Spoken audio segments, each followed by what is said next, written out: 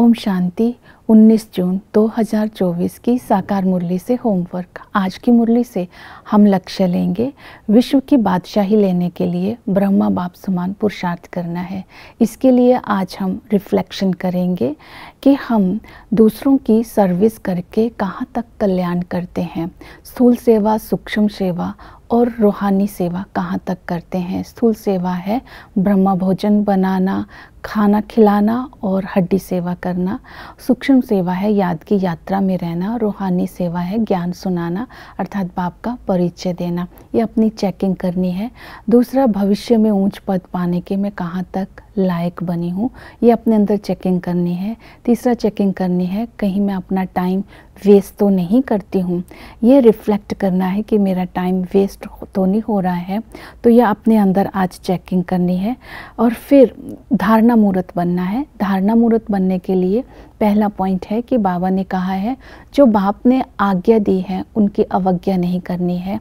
जैसे कि लोभ के वश या फिर लोभ के वश चोरी करना, भूख के वश चोरी करना, कोई चीज़ बिना पूछे उठा करके छिपा लेना, खा लेना, ये बहुत बड़ी अवज्ञा है। इस अवज्ञा से मुक्त होने के लिए ब्रह्मा बाप समान हमें ट्रस्टी बनना है और बाबा को सच सच बता देना है, अर्थात इस बुरी आदत का बाप को दान दे दान दे देना है। दूसरे बाबा की आज्ञा है कि भोली दादी की तरह ब्रह्मा भोजन बाबा की याद में बना करके दूसरों की सेवा करना है और पुण्य का खाता जमा करना है। तीसरे बाबा की आज्ञा ये है कि जो बाबा ने कहा है कि ब्रह्मा बाप समान आज्ञाकारी बनना है। जैसे शिव बाबा ने बाबा को आज्ञा दी तो एक सेकेंड में सब कुछ त्याग कर दिया और बच्ची से भी त्याग कराया। अर्थात वैराग्य और आज्ञाकारी ब्रह्मा बाप समान बनने की ये धारणा अपने अंदर करनी है। तो फिर तीसरी धारणा है, बाबा ने जो तीसरी बाबा ने बोला विश्व की बादशाही लेनी है तो तुम्हें विकर्मा जीत बनना है। सेंसिबल बन करके पाँच विकारों का पर जीत पानी है, क्योंकि ये पाँच विकार हमें कंगाल बना देते हैं, ये बहुत हमें पीड़ित करते हैं पाँच विकार सबसे इसमें से जो मुख्य है, काम विकार और देह अभिमान। तो इन विकारों को छोड़ने के लिए अपने लक्ष्य को स्मृति में रखना है, क्योंकि इस समय हमें वैकुंठ का मालिक बनना है। सर्वगुण संपन्न, सोलह कला संपूर्ण संपूर्ण निर्विकारी बनना है। तो ये बाबा हमें बनाने के लिए आए हैं। जब लक्ष्य स्मृति में रखेंगे तो विकारों पर विजय पाना सहज हो जाएगा। तो बाबा ने आज पाँच विकारों को भूत बोला है। तो इन भूतों को अपने अंदर से निकाल देना है। तीसरा है, विश्व की बादशाही लेनी है तो याद की यात्रा में रहना है। याद करने के लिए मुख्य विधि बताई अपने को आत्मा समझ पाप को याद करना है तो याद से आत्मा विश्व का मालिक बन जाती है और पाप कट जाते हैं। आत्मा समझने के लिए अभ्यास करना है मैं आत्मा हूँ ये शरीर विनाशी है आत्मा अविनाशी है इस शरीर द्वारा पाठ बजाती है। जैसे ही निराकार स्थिति में स्थित होंगे तो बाबा के संबंधों से अन, का अनुभव होने लगेगा। पिता के संबंध से बाबा हमें विश्व की बादशाही देते हैं। इस समय बाबा हमें कहते हैं मीठे सकील सिकिलदे बच्चे बाबा के साथ प्यार का जितना प्यार होगा, उतना याद रहेगी।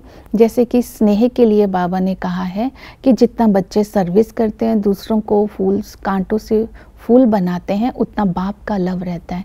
तो ऐसे बाप के स्नेह में जब हम समाये रहते हैं तो बड़ी से बड़ी समस्या भी पानी बन जाती है। तो इसलिए पिता के संबंध से होने वाली प्राप्ति और पिता के स्नेह को आज इमर्ज रूप में रखेंगे। टीचर के संबंध से बाबा को याद करेंगे तो बाबा ऐसी पढ़ाई पढ़ाते हैं, जिससे हम विश्व की बादशाही मिलते हैं, वैकुंठ का मालिक बन जाते हैं।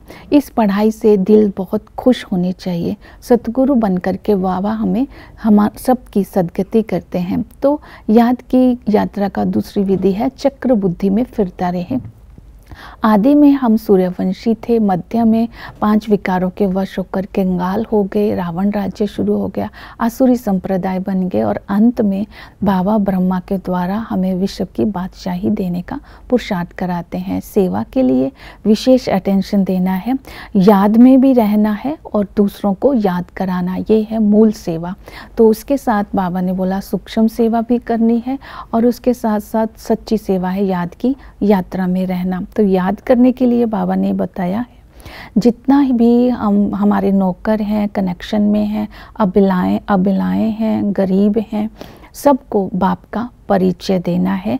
इसके लिए आधार है स्वचिंतन। जितना हम स्वचिंतन करेंगे, ज्ञान चिंतन करेंगे, शुभ चिंतन करेंगे, उतना ही हमारी स्थिति अचल होगी।